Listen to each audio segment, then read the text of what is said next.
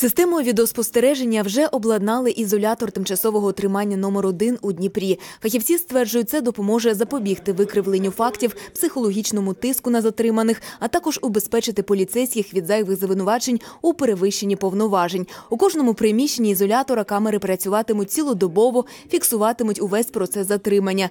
Відео збиратимуть в єдину базу даних. Дистанційний доступ до неї матиме управління забезпечення прав людини при Нацполіції.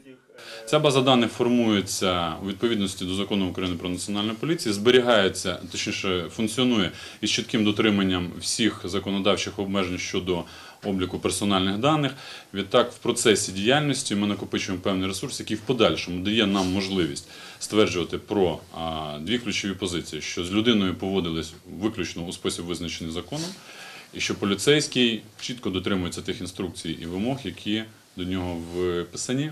Окрім того, в ізоляторі тимчасового тримання з'являться спеціально навчені інспектори з прав людини. З арештованими вони спілкуватимуться одразу, коли ті потраплять до ізолятора. Таким чином миттєво з'ясовуватимуть, чи були порушення прав при затриманні.